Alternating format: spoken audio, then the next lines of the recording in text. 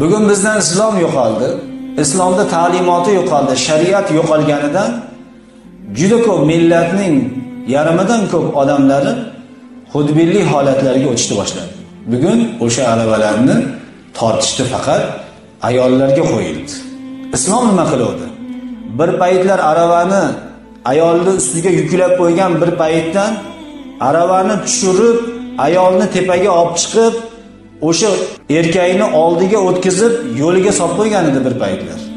Ne bo'ldi? Ilm yo'q bilim yo'q qur'ondan xabar yo'q shariatdan xabar yo'q.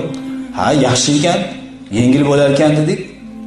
Aravani o'zi ham tortib ko'raverar shekilli sal chekkaga chiqdik. Tortib ketyapti.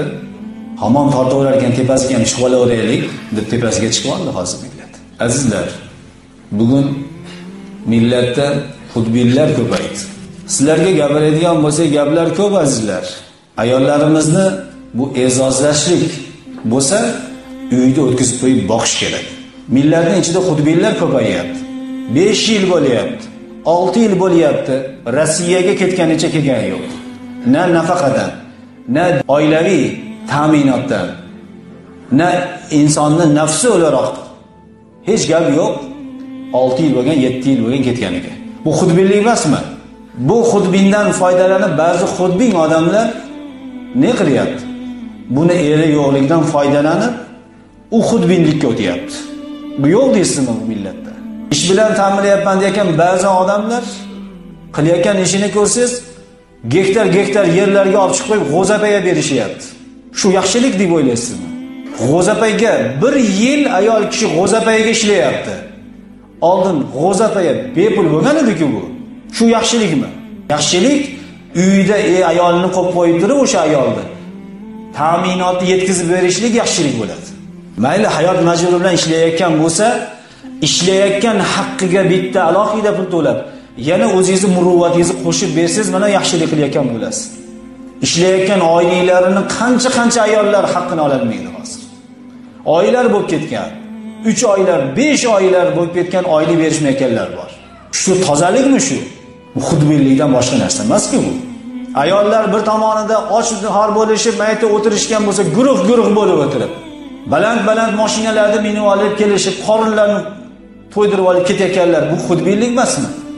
Bu bu millat uchun musulmonlar uchun bu o'zbekiston uchun bu or hisoblanadi bilib olinglar. Ayolni e'zozlash uchun gul berish shart emas. Ayolni musulmonlar bir o'ziga qarash kerak. Ko'z yumib ketaversak tilimizni saqlaversak ertaga ollohni huzurida ham javob bor musulmonlar. Shu sizlarga yoqadimi bozorlarda ayollarni turib olib ko'katlar sotib turishi? Engashib olib ko'katlarni olib berishish shu musulmon ummatiga yoqadimi shu?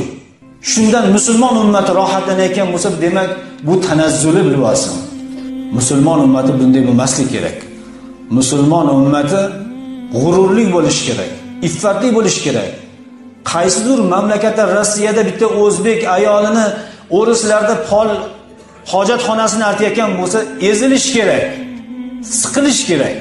Bitta o'zbek ayolini rossiyada yurib shunaqa ish qilishini qaysidir odamlarni ichkiliklarini tozalab yurishini or bilish kerak musulmon ummat. Ayniqsa o'zbek deyaptimi? Bekligini joyiga qo'yib qo'yish kerak ishni. Bu millat nima qilyapti?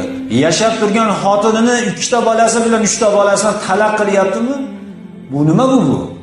Aslini olib qarasangiz nazar solsangiz nimaga talab qilayotganini ham bilmaydi. Oldin ikkita narsa bo'lardi.